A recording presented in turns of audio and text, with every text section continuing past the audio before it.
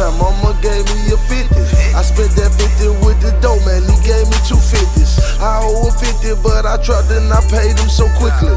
I had them dying so big, Jackie's calling me Biggie. I moved out paying rent was such a good feeling. I hit a lick, 30 grand fell out of the ceiling. I'm in Savannah and my nigga like king of the city. In Alabama them hammers, they plotting to get me. These suckers tried to take my life on a couple occasions. Been grinding hard 30 years, never took a vacation. And ever since 17, been stuck on probation. I chased a nigga and stabbed his ass, now they calling me Jason. I fell out with my homeboy, I swear it was crazy. And we don't really know.